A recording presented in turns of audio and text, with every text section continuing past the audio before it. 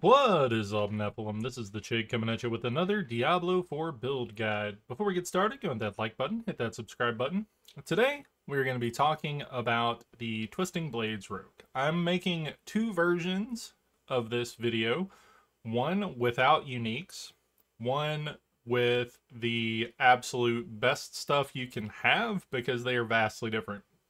So, firstly, I have this setup, which is going to be starting out with no uniques. It's going to be getting us ready. It's going to be letting us start leveling things up. I've got all of my gear to plus 8. This is not as strong as some of the other builds, but it is pretty fun. And if you like twisting blades, I recommend you try this one out. So, puncture, enhanced puncture, get some energy back.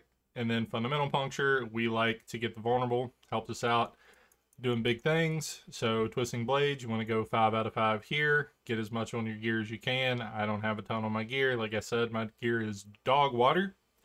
We're going to be using enhancing twisting blades, increases damage when returning, and then improved twisting blades stays for 1.5 seconds when impaled with twisting blades. This is just giving us instant CC when we use twisting blades.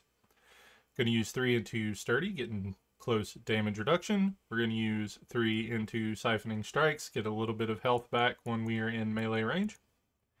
Using shadow step into enhanced shadow step, to get a little bit of extra crit when we shadow step to something, and then we're using discipline shadow step to get the cooldown. We've got one point into caltrops, one point into enhanced caltrops, and one point into discipline caltrops. As you can see, I am stacking a lot of duration here. My multiplier goes up to 83% on this. We'll go over that on the gear in just a second. We've got one into rapid gambits. Your evade cooldown is reduced whenever you daze an enemy. We are constantly dazing. We have trick attacks. When you critically strike a dazed enemy, they're knocked down. Constantly, constantly, constantly. Got five points into dash. You can move these points around, but I like to get the increased cooldown on this because we're zooming. We've got one point into Enhanced dash to get us down to methodical dash. Dealing damage to crowd control enemies reduces the cooldown. We're always crowd controlling because that's what Rogues do.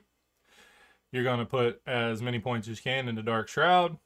Enhanced Dark Shroud to reduce the chance of it getting consumed. And then I have Subverting Dark Shroud because I like the move speed. You can put it into Enhanced Dark Shroud if you'd like to get the extra crit chance because actually I'm going to go ahead and do that because it's going to increase our DPS. I'll show you why in just a second. It's reducing your damage taken by 11.2 per stack. So we're going to grab 3 points in Exploit to extra damage for healthy and injured enemies, 3 points into Malice, extra damage to vulnerable enemies. These are incredible. We are going to go 5 out of 5 in Poison Imbuement because this is where all of our damage is coming from. We've got Enhanced Poison Imbuement to increase its duration. And then we've got Blended Poison Imbuement. Whenever you crit with a Poison Imbued skill, it does increase poison damage. So if we crit, we deal 75% increased damage, which is incredible. Got 3 points into Deadly Venom to increase our poisoning damage by 9%. 3 points into Frigid Finesse. This is our bread and butter. Increase damage to shield enemies. Double that against frozen enemies. We have literal nothing in our ultimate skill tree. And we want to pop down to close quarters combat. This is how we are scaling the build. As you can see, my gear is not very good. My damage to close is not good at all. I'm at 68%. On my other builds, I'm over 100. This is not the best. However, you get your gear right, you will be able to zoom through these things. It is amazing. All right, Paragon board.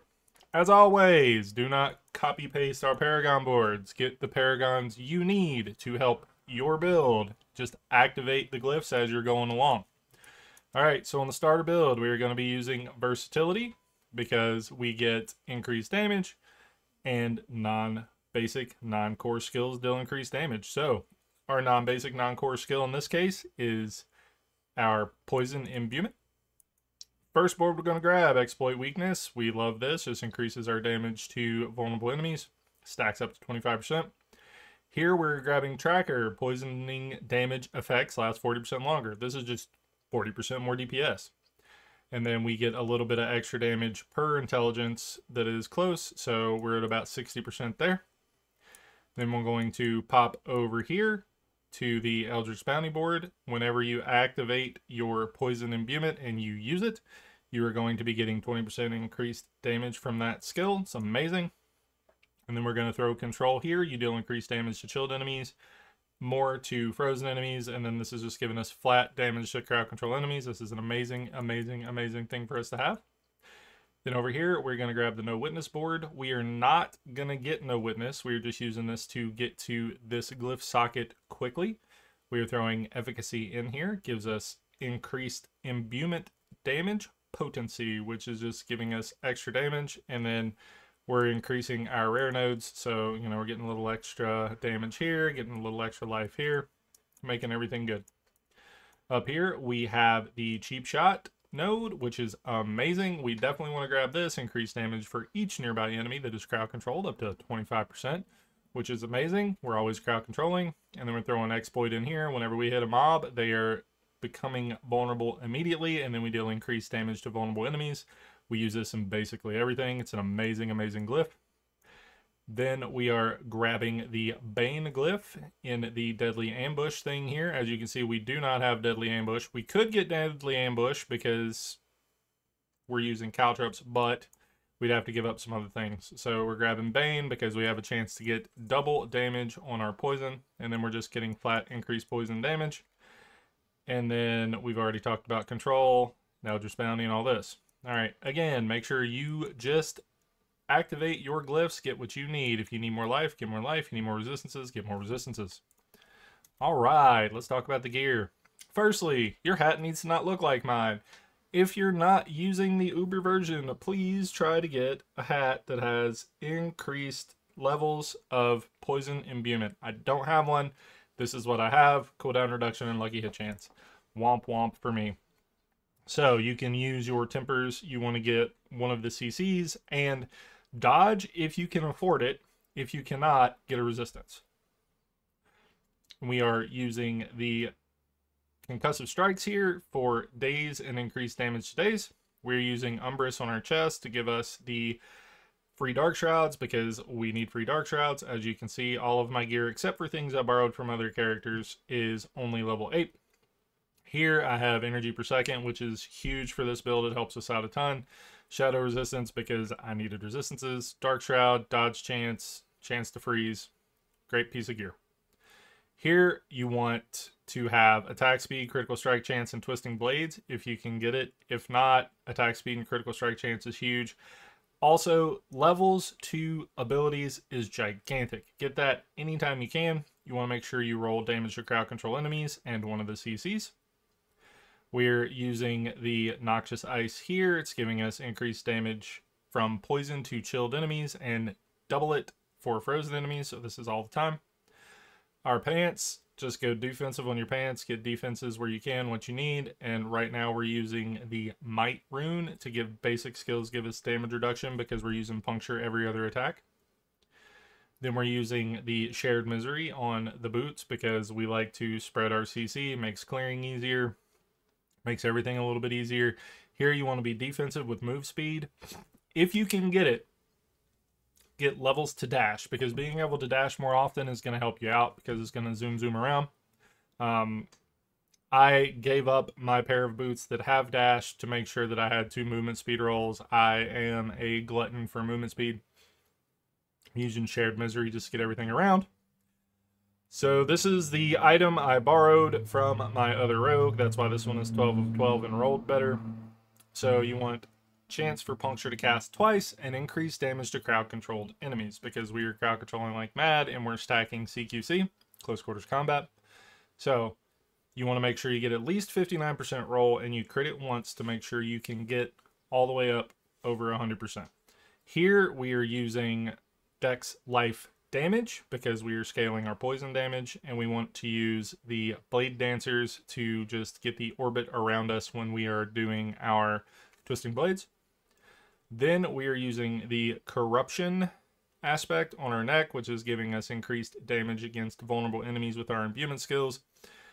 Ideally, yours would have like crit chance, frigid finesse, movement speed, crit chance, frigid finesse, other DPS thing like malice or exploit. Mine's not real good. As you can see, I don't even have a damage or crowd control roll on this. It's just damage. Now, the big thing here, Joe was testing and found out that puncture resource generation will give you extra combo points, which is insane. So that's why we have this, because extra combo points are nuts. So we've been using that. It's been great.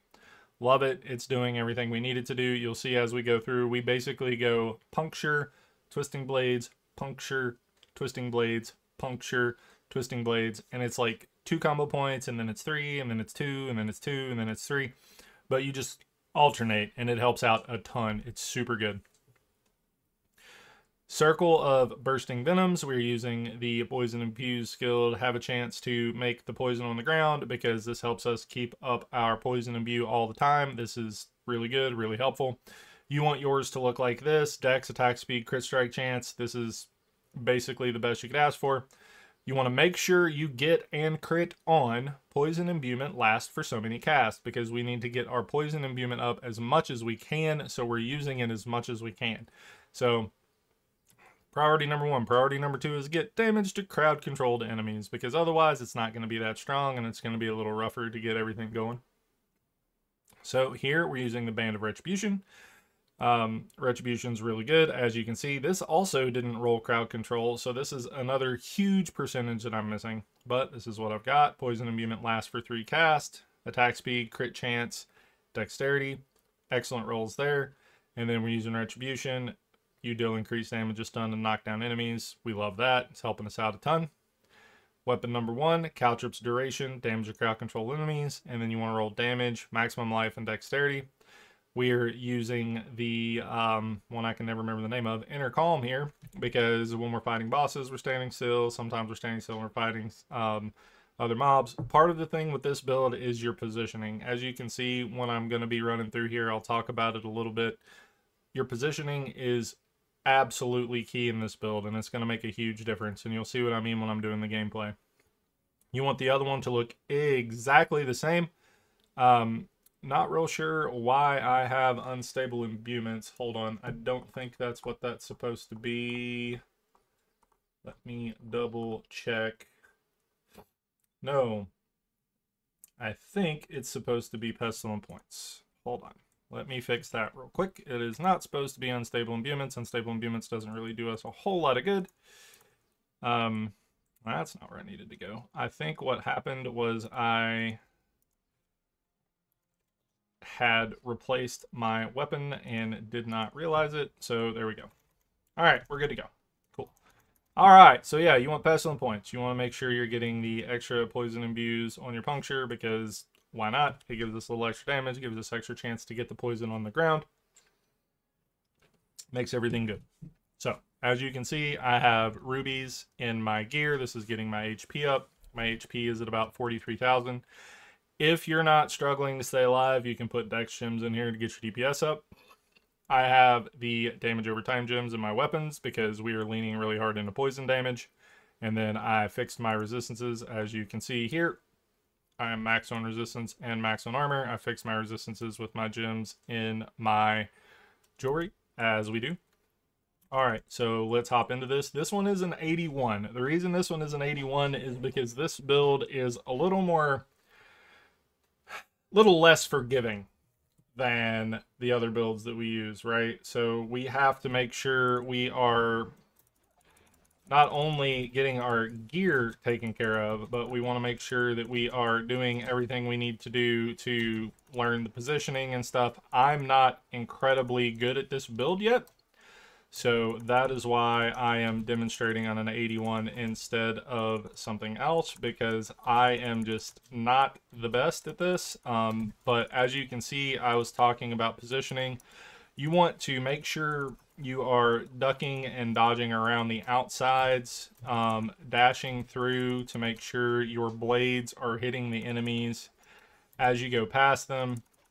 And this is going to allow you to kind of just keep rolling and not really worry about much. It's kind of the same as the Andy's thing. After you hit them with the abilities, you're good to just run past because they're going to fall over from um, the poison afterwards. Um, but you got to make sure one of the things that I have trouble with is I'm so used to playing in melee range and not having to pay attention to my um, Dark Shroud stacks because I'm using the Andy's build that I lose my Dark Shroud stacks and kind of get lost in the sauce.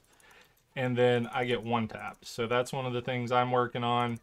As you can see, it's not super fast, but it's not super slow. Um, obviously, this will be a speed build once you get it put together correctly. This is a really fast build. Once you have everything put together and good to go, I'm still working on learning it for the most part because I haven't played this build in a very long time. And by in a very long time, I mean since the release of the game when this was the only thing that we had that was viable.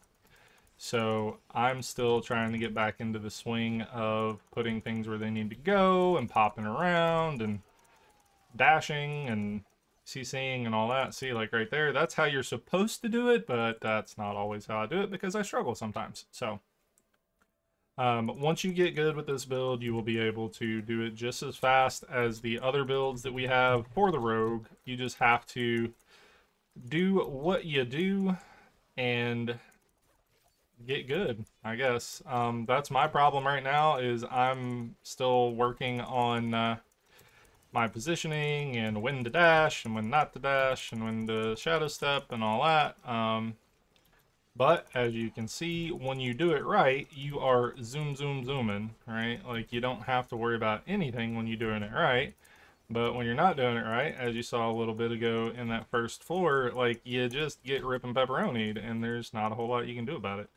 Um, so as you learn it, as you get your gear together, as you get everything where it's supposed to be, um, you are going to be able to just make this into one of your farming builds if you really enjoy the playstyle. I happen to really like the playstyle of this build. Um, I just um, am not the best at it, as you can tell here. Um, I'm still trying to figure out what I'm doing and still trying to uh, remember how to position properly. And obviously making wrong turns in Albuquerque because we are not... Uh, yeah, what did I do? Oh, okay, so I can go down over here. Yeah, see? Not even looking at the map. I am struggling, y'all. Um, but as you can see, the DPS is great. Um, you got to make sure you're keeping up your, well, everything. Um, it's the big thing. You got to make sure you're keeping up your poison imbue. You got to make sure you're keeping up your, I would make sure you're keeping up your shadow step so you can, you know, get out of dodge if you need to, but um, we're also dashing to reposition a lot. We're making sure that see now when you when you do it correctly, you I melted those mobs right. Like it's it's just getting back into the swing of how this is supposed to work is the big thing for me, and it's um I'm not struggling struggling but i'm not you know not struggling so it's like okay uh what are we doing here um hello you know um, like right there, um, had I played that properly, uh, those mobs would have ripped and pepperoni, and I would have got out of dodge, and I wouldn't have had to go back for them. Right? And as far as the bosses, the, the boss fights on this are super easy. It's just like everything else we do. We want to keep our caltrops down. We want to make sure we are just stacking our CC and stuff. And then once he pops back up, I'm going to shadow step to him. I'm going to pop out, and then you're going to alternate, alternate, alternate, alternate, and the boss is dead. Right? Like, it's super easy, super chill. Um, once you get good at it, you won't get as close to dying as I did. I was kind of struggling, but for the most part, it's what you got. It's not a bad build, not hard to play. Um, easy to learn, hard to master. But if you're still here, thanks for hanging out. Make sure you hit that like button, that subscribe button. I'll catch you guys in the next build video.